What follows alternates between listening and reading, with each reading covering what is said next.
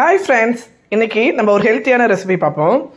வானலியில் வந்து நான் வந்து நல்லா சூடு ஏறினதும் கால் கிலோ கடலை சேர்த்துருக்கேன். நல்லா வறுத்துக்குங்க. நல்லா வாசனை வரல வறுக்கணும். நல்லா நல்லா வறுந்ததுக்கப்புறம் நம்ம இதை வந்து ஆஃப் பண்ணுவோம்.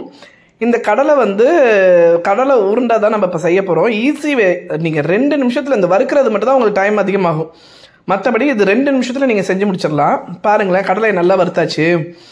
இப்போ ஒரு பிளேட்டில் ஆற வச்சு நம்ம வந்து தோல் உரிச்சு எடுத்துப்போம். பாருங்களேன். தோல் உரிச்சு எடுத்துட்டேன் எல்லாத்தையும். இப்போ நம்ம என்ன பண்ணுவோம்னா ஒரு சின்ன பேனில் ஒரு ஸ்பூன் நெய் நெய் அதிகமாக வேண்டாம்.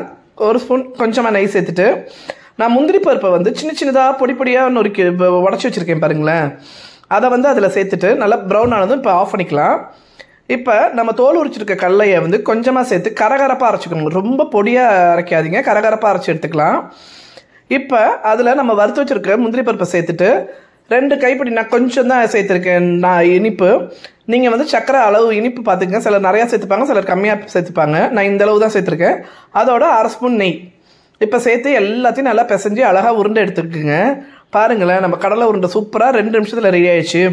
இது பெரியவங்களேருந்து சின்னவங்க வரணும் சாப்பிட ரொம்ப நல்லா இருக்கும். ரொம்ப ஹெல்த்தியானது நம்ம ஈஸியாக செஞ்சு கொடுக்கலாம் பசங்களுக்கு. ஈவினிங் ஸ்நாக்ஸ் கேட்கும்போது ரொம்ப ஹெல்த்தியானது கூட.